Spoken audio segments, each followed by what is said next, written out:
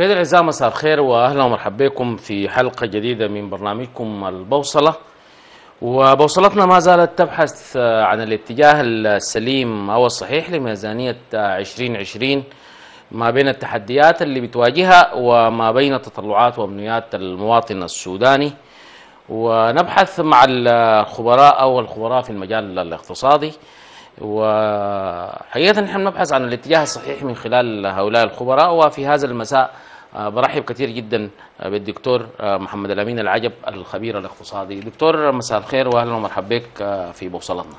مرحبا سيد الأستاذ محتصم في البدء نحييك ونحيي مشاهدي قناة الشروق ونحيي البرنامج لأنه جعلنا أحد الذين يشاركون إن كان بالرأي في هذه المعضلة التي نراها تعتبر تحدي أمام كثير من المواطنين إن كان على مستوى سدة السلطة وإن كان مواطن كادح بسيط يبحث عن قوت يومه. ده كلام سليم ونحن حقيقة يعني الكادح البسيط اللي يبحث عن قوت يومه ده اللي بيهمنا ونحن حنمشي في اتجاهه من خلال هذه البوصلة. وأجرينا دكتور استطلاعات نحن نشوف الاستطلاعات ونيجي نشوف التحديات اللي بتواجه هذه الميزانية والموازنة 2020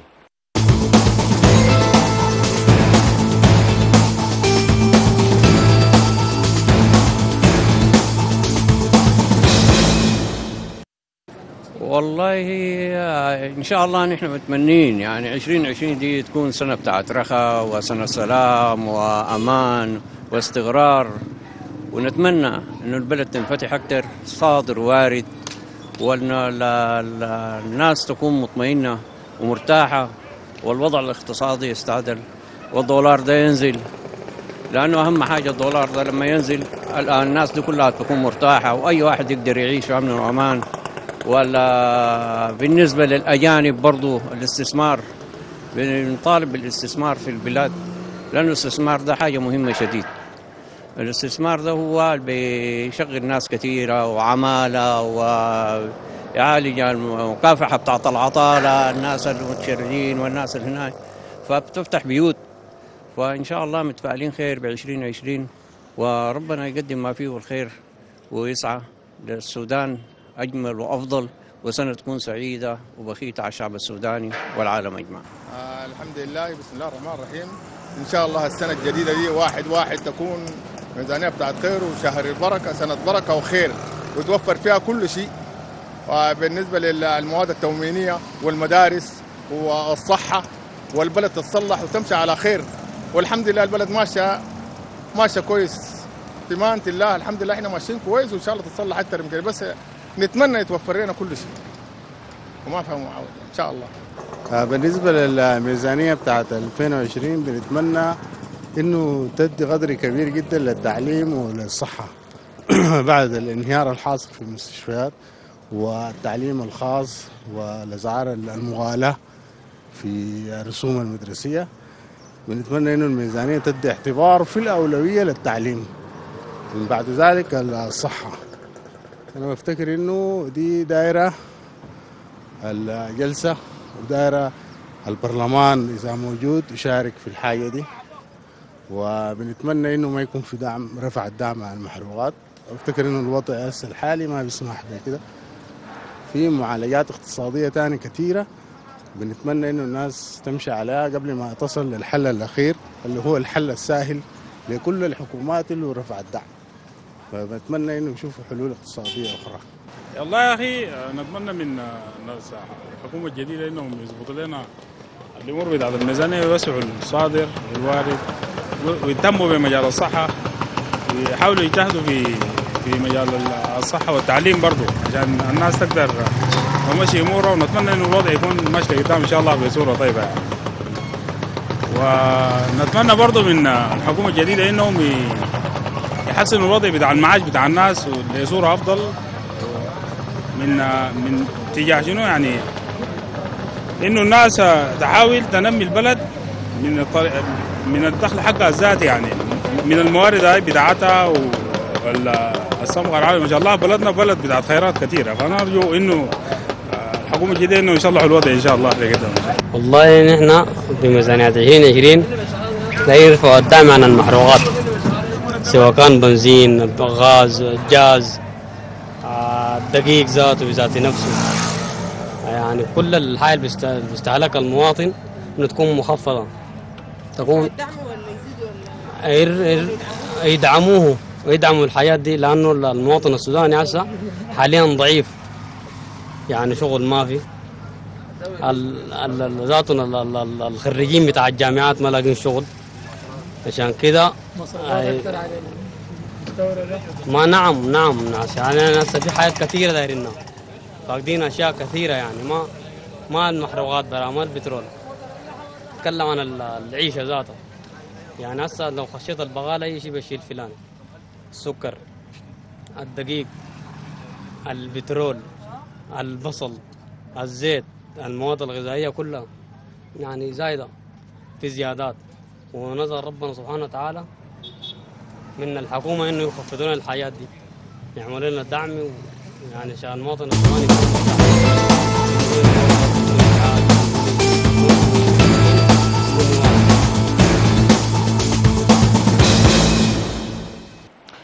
رحب بكم من جديد مشاهدينا الأعزاء. تابعنا استطلاعات يعني يمكن هي يعني عايز نتكلم يا دكتور عن التحديات اللي بتواجه. يعني يمكن الاستطلاع هبش لنا كل الحاجات. يعني يعني أنا يمكن من ال- ال- الشيء الجميل اللي أنا شايفه رغم إنه يعني الحكومة الانتقالية الآن ورثت آه، خزانة أو خزينة فاضية ووضع متردي تماما. مصغلة بالديون. مزغلة بالديون مز... ما عندها حتى دولار عشان تقدر تجيب به ال... ال... الشيء اللي بيتكلم عنه المواطن بيتكلم عن الصحة والتعليم وبشيء في شيء من التفاؤل.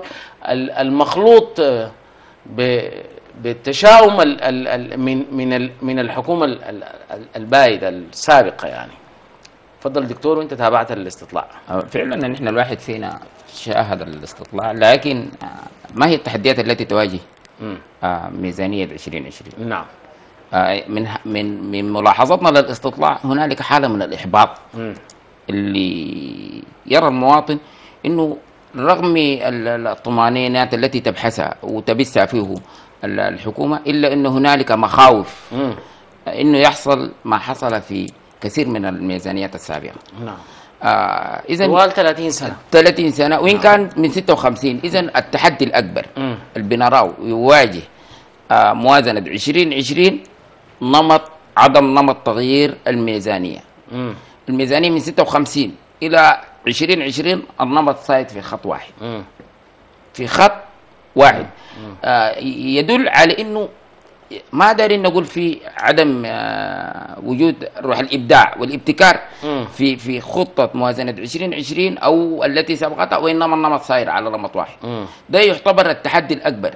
آه هذا النمط الذي سارت عليه خطة 2020 لم يشهد أي تغير من 56 إلى الآن. طيب ليه ليه في 30 سنة الأخيرة ظهر لنا أو ظهرت لنا هذه المشاكل رغم الإمكانيات اللي ما وجدتها أي حكومة سابقة يعني بترول ذهب ثروة حيوانية زراعة. في الوقت اللي فيه إنه في العهود السابقة كان الاعتماد على على على زراعة أو على قطن يعني. ليه في ال 30 سنة دي يا دكتور؟ من خلال وجودك أنت وانت خبير ليه ظهرت لنا هذه المشاكل اللي يتكلم عنها المواطن الآن في الصحة وفي التعليم وفي قوت يومه؟ السبب شنو؟ آه، يعتبر الاستقرار ال- ال- السياسي هو الوعاء الذي تنطلق منه كل آه، عمليات الاستثمار التي تدعم الاقتصاد والتي ينطلق منها الاقتصاد. إن لم يوجد استقرار سياسي لم يوجد اقتصاد معافى. نعم. وهذا الذي حدث طيلة فترة الثلاثين سنة. نعم. لم يكن هنالك استقرار سياسي. سلام. آه، حروب أهلية. آه، حركات مسلحة. آه، أحزاب آه، تمتلك أيديولوجيات معادية ل- ل- ل- ل- ل- لأولئك وأولئك ماشية يعادون. باتجاهات- فإذا عدم الاستقرار السياسي خلى يكون عندنا اقتصاد مشوه. نعم. هذا الذي حدث انعكس على قوت المواطن اللي رأيناه من خلال الاستطلاع الذي قام به آه، البرنامج لبعض آه، ذوي الدخل المحدود. نعم. وهم الذين نراهم أكثر ناس بنكو بالموازنات وبنكو بالتدهور الاقتصادي وعدم الاستقرار السياسي وكلهم لأنهم هم ناس من ذوي الدخل المحدود. نعم. ل- تفضل تفضل.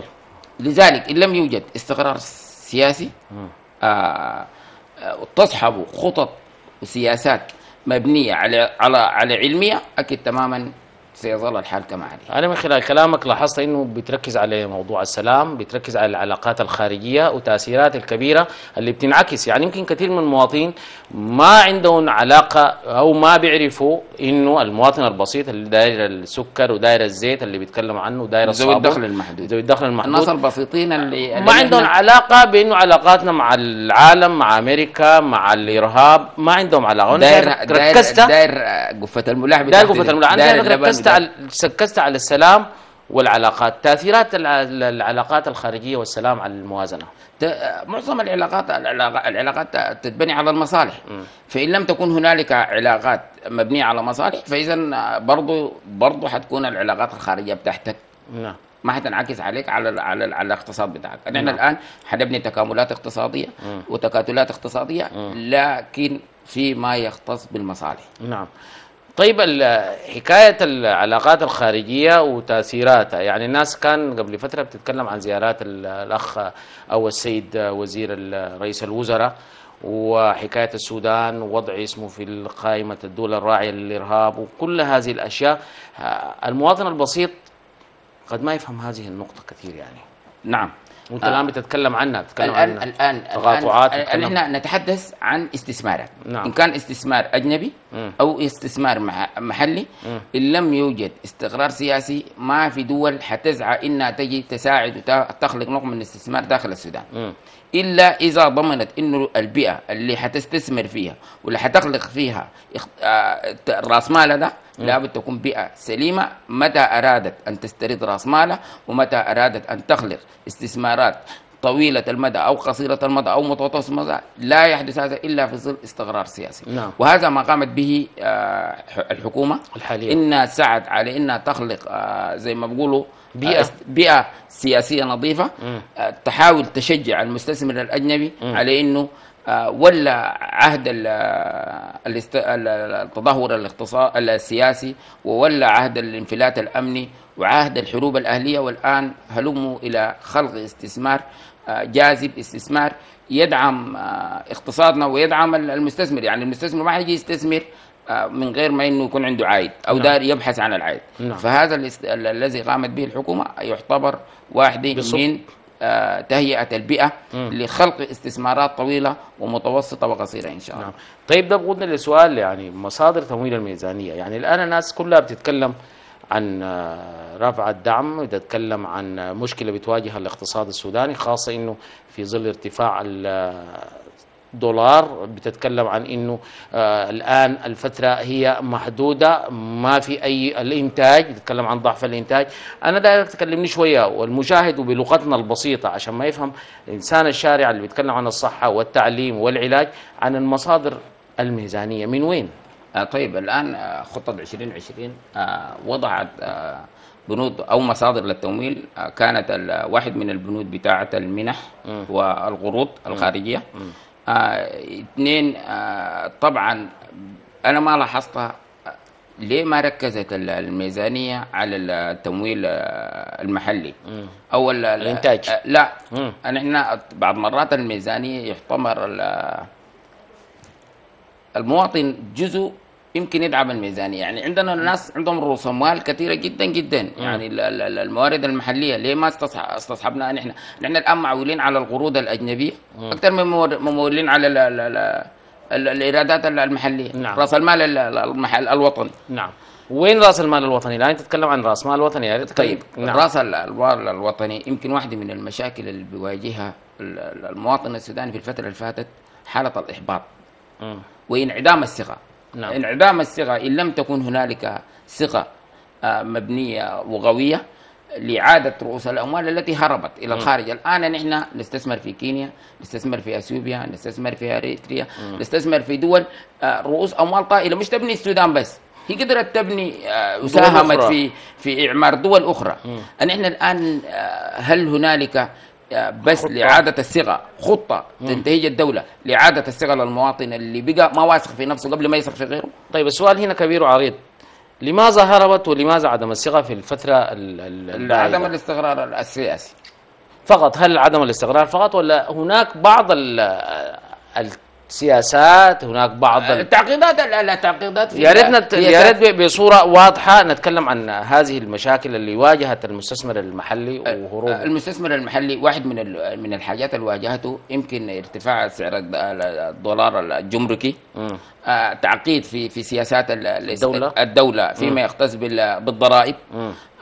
هنالك جبايات وهنالك بعض ال- ال- ال- ال- ال- الرسوم التي تفرض يعني ما أنا عن نفسي بعيد كده نحن ما نتكلم بلغة ال- ب- ببساطة. الاقتصاد ولا بلغة أنا عن نفسي كمواطن عندي رأس مال.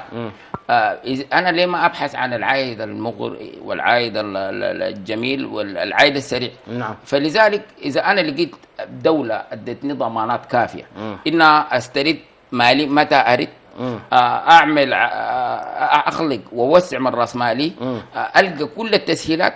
طيب اللي بخليني في بلد آه، معقد وضاغطني وبلد يعني آه، كله تعقيدات. لماذا؟ نعم. لذلك لابد أنا أحسن لي أحافظ على رأس مالي. نعم.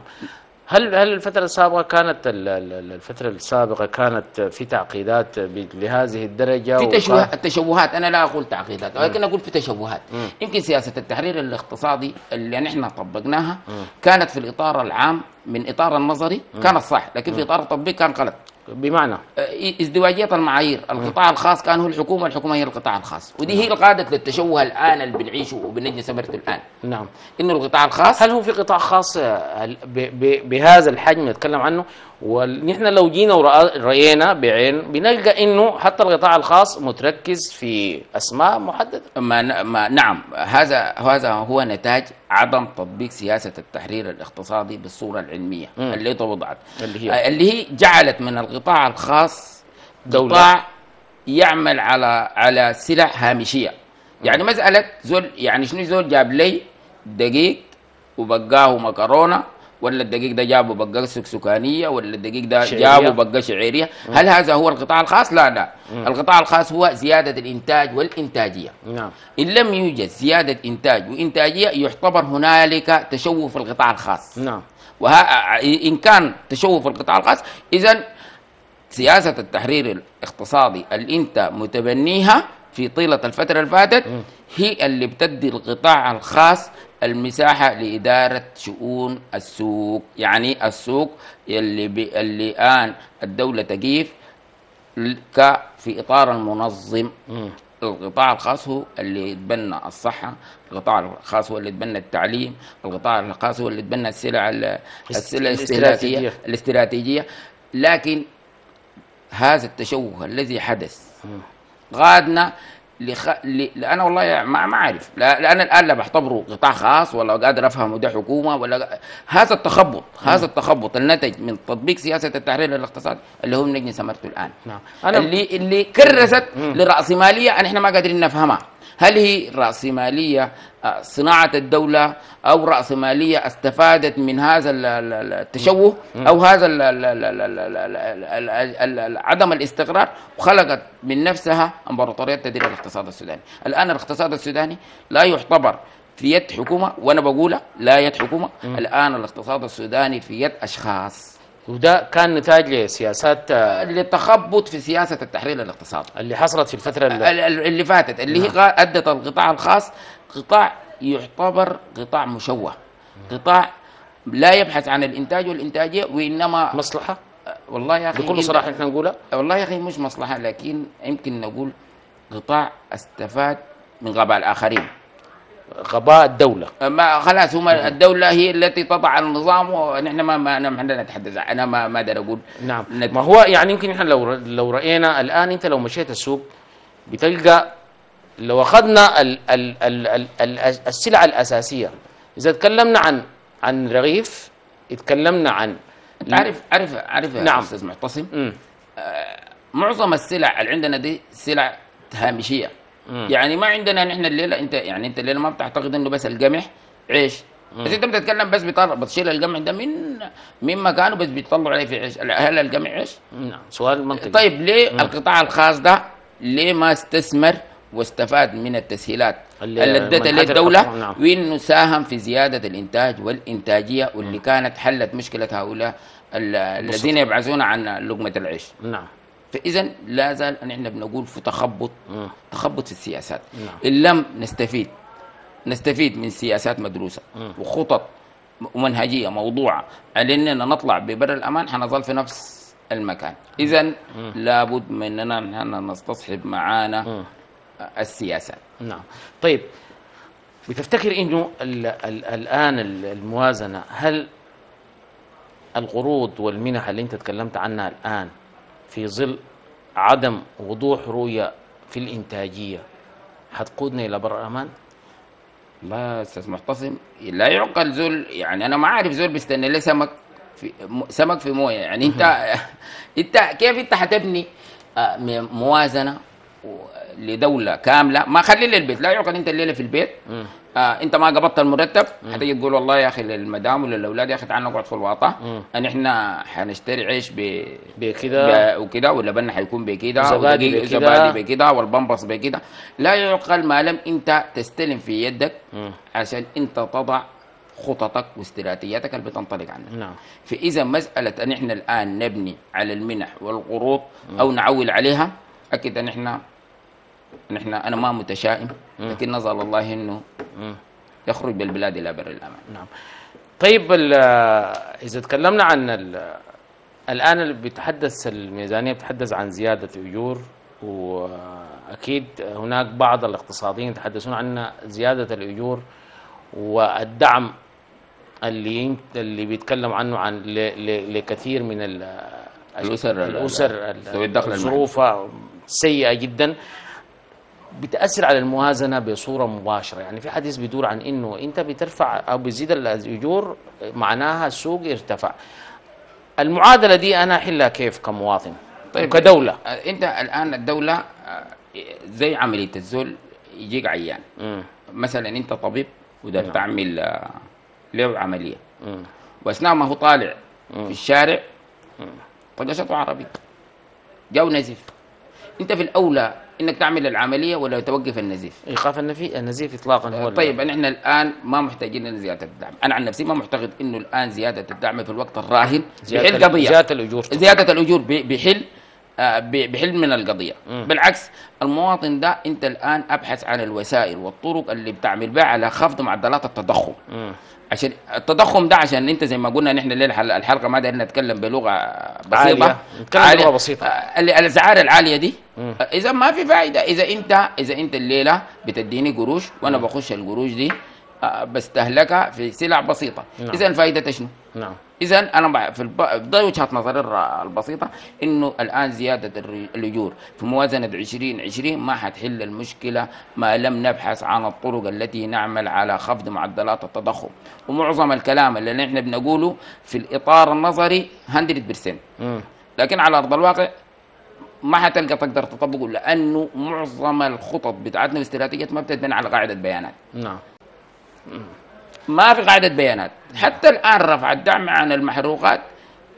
في ناس بيقول لك يا أخي والله الكلام ده صح والكلام ده نحن المفروض نمشي ليه في ناس عندهم عربات ونحن ماشيين بكرعين لكن أنت لازم تستصحب معك إنه قطاع قطاع آه، النقل ده ما عربات خاصة بس. مم. الآن صاحب زول الركشة بتأثر. زول الركشة بتأثر. زول الركشة بتأثر. نعم. الموضوع ده أنا يعني يمكن آه، عندي فاصل قصير. ولكن في نقطة مهمة جدا هتكلم عن رفع الدعم عن المحروقات. يعني في كثيرين جدا بيروا إنه رفع الدعم عن المحروقات هو شيء أساسي في الموازنة. مشاهدينا الاعزاء فاصل قصير ثم نعود لنتواصل.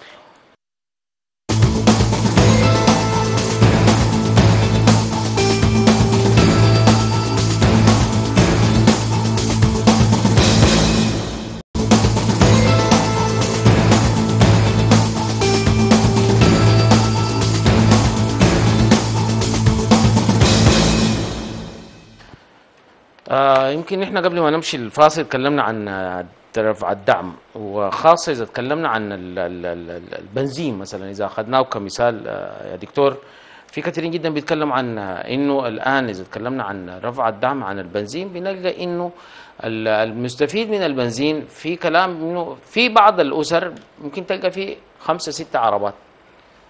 أنا بدعم خمسة ستة عربات بتتحرك بالبنزين. وقد يكون في مشاوير ما عندها علاقة يعني مشاوير خاصة. يتكلمنا أيضا عن مثلا عن ركشات يتكلمنا عن عربات خاصة الآن بتشتغل بترحل يعني ترحال بتدخل يعني إحنا الترحال ما نتحدث عن عن عن شركة. نتكلم عن العربات الشغالة بترحل وبتستفيد وبتدخل قروش وده كله بنزين مدعوم. ده ما بتفتكر برضو عنده تأثير سلبي في مواطن أصلا البنزين ما لاقي منه حاجة. يعني أنا الليلة آه، كشخص بسيط ما عندي عربية البيت ما فيه ولا عربية. يعني معظم الأسر. يا ريت تعمل لي موازنة بين الاثنين ان إحنا كيف نقدر نستفيد من من من رفع الدعم عن البنزين مثلا كسلعة طيب أي- أنت الآن نحن قبيل اتكلمنا قلنا هنتكلم ببساطة عشان نلامس غرفه ملاحظه زول المواطن البسيط. ده طيب أنت الآن قست على أنا قبل قلنا ان إحنا لو لا توجد قاعدة بيانات بتنطلق. منها دي واحدة من مشاكلنا دي مشكلة الآن هل ان إحنا لو قسنا عدد الخمسه عربات. مقابل عندنا كم ركشة في الحلة. نعم. الآن عارف أنا قاعد أقول وجهة نظري وأنا بقولها وحصل اقولها القطاع النقل هو القطاع المحوري في الاقتصاد السوداني. نعم. ما لم يوجد قطاع نقل قوي مم.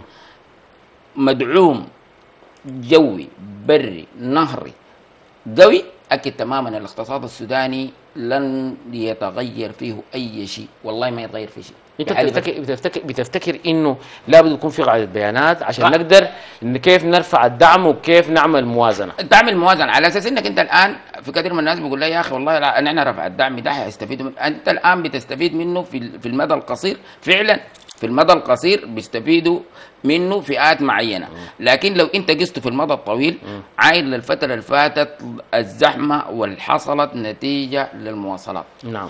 ما كانت بتسدها إلا إلا العربات اللي أنت بتقول لي يا أخي أنا إحنا شايفينها قطاع خاص. نعم. يا جماعة نحن أنا أنا لو اتكلمت عنها بلقى إنه المواطن البسيط الآن الزحمة اللي تتكلم عنها ما بيقدر يدفع لي 200 و300 جنيه يعني ال- المستفيدين هم غلة. أنا بقول لك بكل صراحة يعني الآن ما كل الناس دي بتقدر تركب العربات الخاصة. لا أنا إحنا ما انت انت أنت ما تقيس أنت ما تقيس قلت لك على المدى البسيط. على المدى القصير نعم. اللي بيستفيدوا غير لكن أنت القطاع النقلي ده مشاركاك فيه حاجات تانية.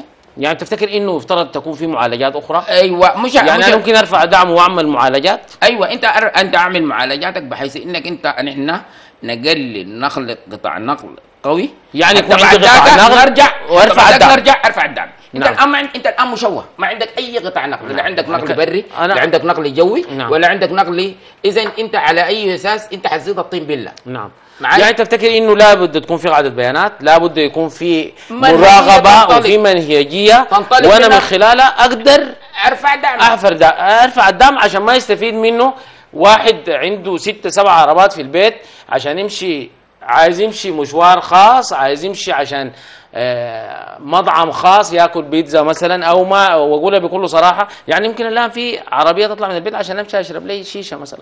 طيب تمام. أنا ما معاك أنا نعم. ما معاك. أنت لكن أنت بتقيس في المدى ال- في في في نظرتك البسيطة بتشوف إنه العربية دي كده. لكن نحن لما نقيسها على الكل على الإطار الكلي للدولة الآن رفع الدعم في الوقت الراهن يزيد الطين بالله. إلا ويبقى وفق خطط واستراتيجيات عشان نعم. يحصل تمرحل عشان أنت تخلق يعني ليه ابسط مثل. لو نحن يمكن نستفيد من قطاع السكة حديد. السكة حديد السكة حديد الآن قطاع أنا بعتبره رخيص جدا جدا. لكن يعني لو فعلت قطاع سكه حديد السكة حديد القطاع النهري النقل نعم. النهري. مم. حتى أنت بعد ذاك step by step أبدأ. أو عربات الجاز مثلا؟ أي. يعني عربات كبيرة؟ كبيرة. نعم، لكن تنقل المواطن. لكن الآن في الوقت الراهن عشان أنا أقول لك وجهة نظري أنا رفع الدعم. في الوقت في الراهن الوقت الراهن. حيحل المشكلة؟ المشكلة الآن ما ما رفع الدعم ولا وقود. نعم. الآن المشكلة الأساسية زيادة إنتاج وإنتاجية. نعم. أنا إحنا قطاعنا اقتصادنا ده كله أنا بعتبره اقتصاد خدمي. نعم ما قائم عندنا- ما قطاع إنتاجي. ما قطاع إنتاجي. قطاع خدمي. الآن ال الواحد في الحلة الشاب خريج من الجامعة أول حاجة لو ضاقت به السبل بيمشي يفتح له دكان بتاع موبايلات.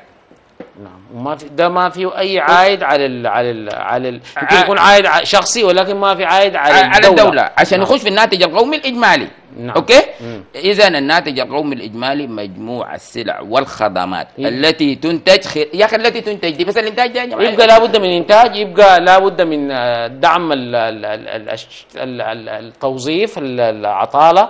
يبقى لازم نحن نشتغل عشان نقدر أنت- نرفع إنتاجيتنا. عارف أستاذ محتسم مم. نحن مسألة العواطف مشكلة نحن ضرانا العواطف نعم مشكلة حقيقية والله مشكلة جد. مشكلة والله. وحياة الله والله الواحد والله ما أقول لك ال- المو... حتى حتى الآن الاقتصاديين اللي عندنا. يستطيعوا يطرحوا المشاكل لكن هل عجزت حواس السوداني أن تلد اقتصادي يضي يطرح حلول ما.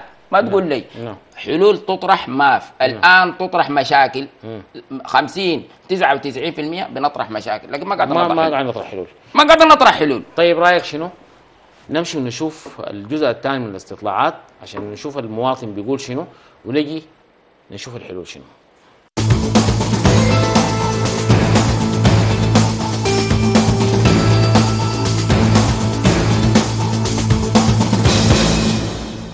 ميزانية ال 2020 بتمنى فيها أن يكون فيها إسناد تخفيضات في في الوقود الداري رفع الدعم المحروقات يكون للمؤسسات الداخلية لأنه لما يرفعوا للإسناد آه، يرفع الدعم المحروقات بالنسبة للناس اللي عنده الأرباط الخاصة هم إسناد بيستفيدوا. لكن أما للمواطن يكون تعبان لأنه هيكون في زيادات في المواصلات. دائما أنا بتمنى يكون شنو؟ الارباط المواصلات الداخلية يكون مسير منخفض. أما للارباط الخاصة يكون بيسيروا الرفع على المحروقات الدعم على المحروقات ومناهي يكون في تخفيض للحياه الحياة. تكون رخ- رخيصه والحياة تكون الحمد لله ما فيها إسنة ما في غلاء الغلاء دي تكون يعني تدعم في الحاجات الثانية في السلع الاستهلاكيه وال- والمواد والرغيف بالذات. لأن حتى وزن الرغيف الرغيف العادية وزنها المفروض يكون 70 جرام هسه كلها 30 جرام ولا 35 جرام. حاجة صغيرة. يعني المفروض تكون الدائم يبقى للدقيق والزيت والسكر والحاجات ال... يعني السلع الاستهلاكية والصرف اليومي للمواطن. الحقيقة ال- ال- البلد شهدت تغيير وبالتالي آه، الشعب يكون متوقع إنه الميزانية تلبي طموحاته في ال- الحاجات الأساسية بالنسبة للتعليم بالنسبة للصحة بالنسبة لكن أنا أفتكر ال- التغيير الحقيقي هو اللي حيحصل في الاقتصاد. لأنه الاقتصاد هو عصب الحياة بالنسبة لكل الدول هو ال- ال- ال- ال- التقدم بتاع الدول بيقاس بالاقتصاد. فهي آه، دي النظرة الحقيقية ال- الميزانية بتاعت 2020 تهتم بالصادر تهتم بمدخلات الإنتاج تهتم. واحدة من المشاكل الحقيقية اللي واجهت الناس في الفترة اللي فاتت هي زيادة آه، الدولار الجمركي. أثر تأثير سلبي جدا آه، أحدث تضخم حقيقي آه، رفع الأسعار بصورة خرافية جدا جدا. فبالتالي الاهتمام بمسألة الدولار الجمركي بالاهتمام بمسألة الصادر بالنسبة للبلد خصوصا إنها هي يعني بلدنا غنية بالموارد فالإعفاءات بالنسبة لمدخلات الإنتاج دي دي الحاجة المهمة أنا بفتكر في ميزانية 2020 عشان تنعكس إيجابا على المواطن في حياته البسيطة. آه، السلام عليكم.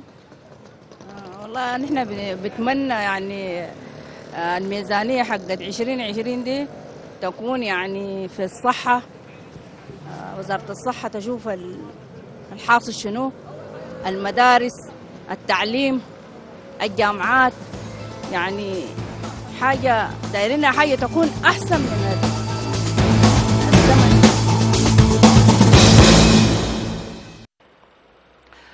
مرحبا بكم من جديد وبرحب بالدكتور. دكتور أنا حقيقة يعني يمكن آه، في نقطتين تتكلمت عنهم وكان يعني حقيقة يعني آه، اقتنعت بهم تماما. يعني أنت تكلمت عن إنه رفع الدعم ما مشكلة لكن تكلمت عن إنه لابد من منهجية وقاعدة بيانات. يعني النقطة دي يا ريت تشرح لي أكثر منهجية وقاعدة بيانات عشان أقدر أرفع الدعم لقدام. دي نقطة تتكلم لي فيها وتتكلم لي عن التصريح بتاع وزير المالية اللي يتحدث عن عدم إخضاع صادرات القطاع الزراعي والنباتي وال بصورة عامة بشقيه يعني زراعي ونباتي عدم إخضاعهم للرسوم أو الجبايات وتأثير ده. الاقتصاد. يعني النقطتين دي مهمات جدا تتكلم لي أنا عنها ابدا لك بالسؤال التالي. اتفضل. الأخير حتى نجي للأوائل. لل- نعم. الآن هل مشكلة الاقتصاد السوداني أو مشكلة الزراعة عندنا صادرات ضرائب وجبايات؟ لا والله. نعم. يمكن المواطن يقدر يغطي من إطار إنتاجه آه، يغطي ضرائبه وإن كانت أكبر. يا جماعة الآن مسألة ال- القطاع الزراعي مشكلته مدخلات إنتاج. نعم. مدخلات الإنتاج ومدخلات الإنتاج. مدخلات إنتاج. يعني الآن ما مشكلتنا ضرائب و- ضرائب. نعم. غير ذلك قطاع نفط. مم. الآن المواطن بتاع الخضار ده ذاته في الحلة. نتكلم باللغة البسيطة. بتاع الخضار في الحلة. مم. ما مشكلته إنه والله يقول لك يا أخي أنا والله أنا ال- ما في و- لا ما. في إنتاج وما في لا.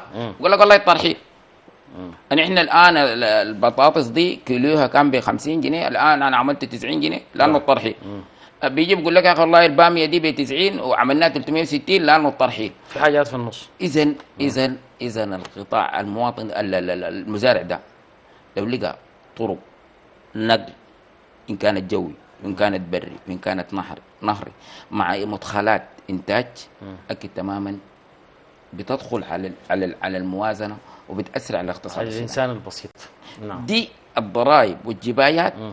في المدى البسيط أو القصير لا تأثير م- نعم لكن ما بي ما بيقدر ما بالحجم. ما بحجم دولة. ما بحجم بلد شعبي فقير في بلد غني يعني أنت بتتكلم الآن بكل المشاكل ال- إنه لابد من الإنتاج إنه. الإنتاجية هي ممكن إذا أنا ارتفع إنتاجي كل هذه زادت زادت الإنتاج اذا دي وسائل التنميه الإنتاجية. بتأثر على الإنسان البسيط. عارف عارف عارف يا أستاذ معتصم مشكلتنا؟ مم. للأسف الشديد. إن إحنا يعني زي ما بيقولوا برمجنا نفسنا. اللي إحنا دايما بنمسك بالأسباب أو بنمسك بالأعذار. والله يقول لك يا فلان ده والله بقى بقى متعذر خلاص. مم.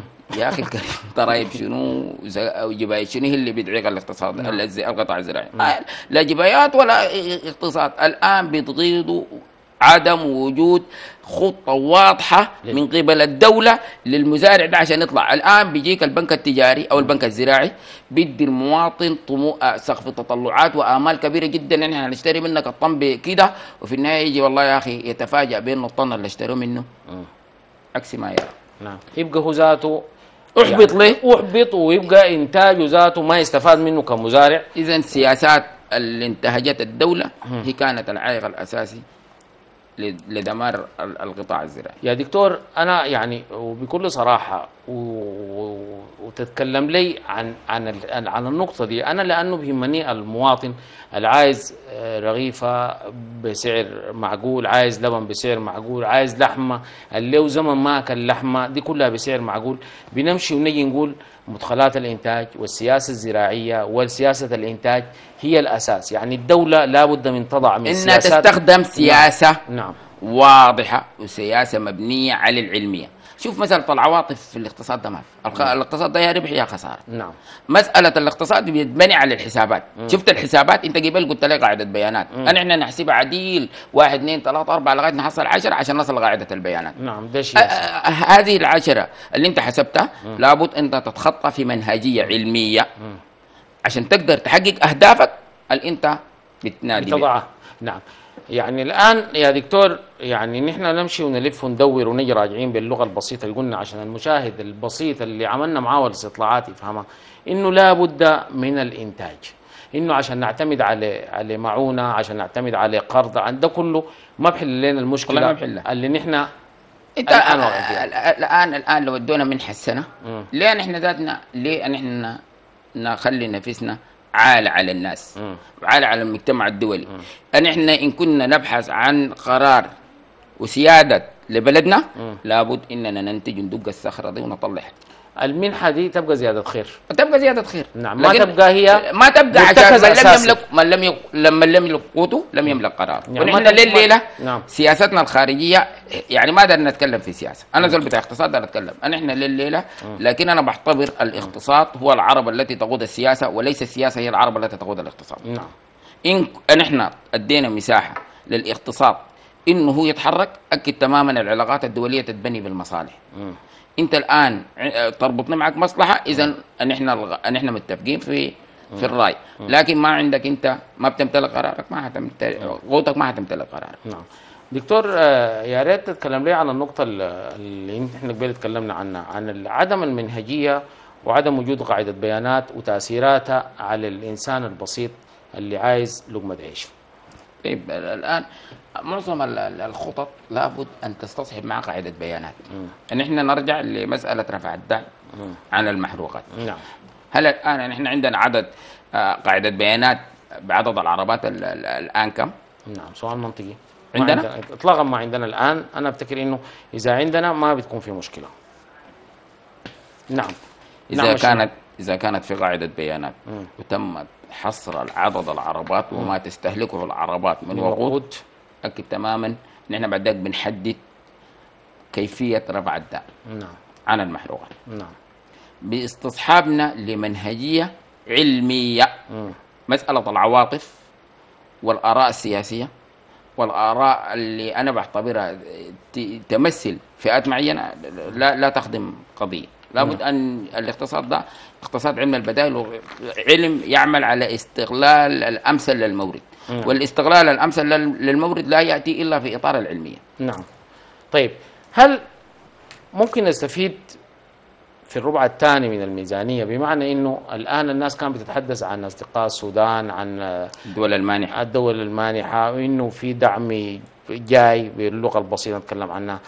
نحن كيف ممكن نستفيد من النقطة دي في الفترة القادمة يعني؟ وما نعول عليها كشيء أساسي ولكن ممكن تكون أيضا عندها فائدة إضافة, إضافة, إضافة. يعني نحن نحن الآن الاقتصاد قبل أنت نحن تكلمنا عنه الاقتصاد السوداني. يعيش حالة من التشوهات يعيش حالة من ال- الاختلالات نعم. يعيش حالة من التدهور. آه، في قطاعاته في نعم. مكوناته العامة. لا لابد أن إحنا يتم استغلال هذه المنح وتوظيفها إلى من أجل الأشياء التي من أجلها منحت. نعم. آه، إذا نحن أخذنا هذه المنح وحاولنا نجتهد إننا نوظفها توظيف أمثل. أكيد حتحقق ما نزعى له وما نرجوه وإن غير ذلك فحتى تذهب كما ذهب الكثير من المنح التي منحت. دكتور بكل صراحة آه، يا ريت تتحدث لي عن ال 30 سنة السابقة وتأثيرات الكبيرة والعظيمة اللي اللي أثرت على الميزانية 2020 يعني هل ميزانية 2020 منفصلة عن التأثير الخطير والكبير خلال ال 30 سنة السابقة؟ لا نعم. لأنه آه، يمكن التشوه اللي حصل في القطاع الخاص الآن نجني ثمرته الآن نعم و... و... وانعدام الثقة اللي حصلت في فترة 30 سنة. آه، في فترة ال- انعدام السيولة مم. برضو تعتبر واحدة من الأسباب اللي أدت إلى تدهور الاقتصاد السوداني نعم الآن الآن البنوك تعتبر واحدة من ال- ال- ال- الوسائل التي تساعد في عملية آه، زيادة الناتج القومي الإجمالي. نعم. بمشاركته ومساهمته في الاستثمارات وفي القطاع الصناعي وفي القطاع الزراعي. الآن المواطن البسيط ولا نحن بنتحدث الآن في في في موضوعه مم. إذا كان عنده خمسة ألف الآن لا يمتلك أي ثقة لا إنه يشيل الخمسة ألف دي يخطها في البنك. نعم. ليه؟ لأنه بيعتبر عشان يعمل استردادة بتبقى له معضلة كبيرة جدا جدا لأنه فقد الثقة. نعم. فنحن لابد في أن نأتي بطرق ووسائل جديدة تعمل على إعادة الثقة للمواطن البسيط. المواطن البسيط واللي ناس كثير بتفتكر إنه آه الاقتصاد ده يبنوه الراسماليه الكبار. أمثال X من الناس أو Y من الناس. ال X من الناس Y من الناس ما وصلوا للوصول ده إلا لانعدام المنافسة. لأنه انعدام المنافسة قاد على إنهم يهيمنوا و- وغاد على إنهم هم يسيطروا واللي هم يتلاعبوا بغطى المواطن اللي بسيط الذي بيتكلم وبيتكلم في في استطلاع رأيه إنه بيبحث الآن عن لقمة عيشه الآن المواطن السوداني أصبح سقف تطلعاته إنه يضمن يوم بكرة. نعم. في حين إن إحنا شعب مبدع شعب يمتلك من الراس من المورد من رأس المال البشري والفكري اللي قاد لبناء دول. نعم. طيب يا دكتور أنا داير أسأل سؤال مباشر. ليه عادت جزء من الثقة آه، من المواطن في البنوك؟ يعني الفترة السابقة كنا يعني يمكن الفترة السابقة والبايدة يمكن الناس كان عندها مشكلة حتى في مرتباتها. عشان أنت تشيل مرتبك كان دي مشكلة كبيرة جدا جدا. يعني كل يوم تفتش عشان تلقى لك 1000 جنيه عشان أنت تركب لك ركشة وتلف الصرافات كلها عشان تطلع لك ب 1000 جنيه الآن ليه يا دكتور عادت الثقة وأصبح الناس يرجعوا ويضعوا أموالهم داخل الصرافات وأصبحت أموالك أنت بسهولة جدا تمشي يعني أنا أضرب لك مثلا أنا ب- يعني امس مشيت ودخلت الكريت وط- من الصرافه وقدرت أشيل قروشي وجيت اشتريت الحاجة ليه دكتور الصيغه دي عادت السبب شنو؟ آه، الآن الآن أستاذ معتصم أنا هتكلم بصراحة مم. أنا والله يعني بقول لله مم. مسألة الآن الصيغه ترجع للمواطن عشان يرجع قروش البنك. دي والله ما تغش نفسك ولا بغشك أنا ذات عن نفسي كان عندي قروش ما بودي البنك. نعم. ليه؟ لأن أنا مواطن بسيط. نعم. الان الآن الصيغه هي بدأت تعود. نعم. ليه؟ ون-؟ الان الآن الطمأنينة ومصداقيه الدولة. مم. في إنها ترجع للمواطن آه، لعهده الأول. بدأت تبثها في روحه وبدأ يجتهد لكن برضه لا زال هنالك بعض من التخوف. نعم. بعض من التخوف. شيء منطقي. ليه؟ لأنه لا يعقل أنت الهجمة زي ما بقول لك يعني بالبسيط كده. أنت لو اتهجمت في يعني طالع لك بزقاق كده وجاتك نطلع لك حاجة. اتاكد تماما الزو- ال- ال- ال- ال- الزقاقه والاتجاه اللي ده. لا حيكون في فوبيا اتجاهه فترة من الزمن. ده كلام سليم. لكن أنت كدولة مم. تستلم بزمام الأمر. أنت تحاول تخلق في الحاجات اللي بتزيد الإنتاج والإنتاجية تشجع في صادراتك عشان إنك إنت والله توري أنا ارتح- رجعت وعدت لعهدي الأول. تعال يا مواطن جيب ما عندك وأنت يا مواطن جيب ما عندك عشان ترجع زي أول. يبقى سياسة آه، لابد من الإنتاج لابد من الإنتاجية عشان ما نحن نمشي لقدام. آه، دكتور محمد الأمين العجب الخبير الاقتصادي آه، أنا بحييك في ختام هذه الحلقة عايز تقول شنو للمواطن البسيط؟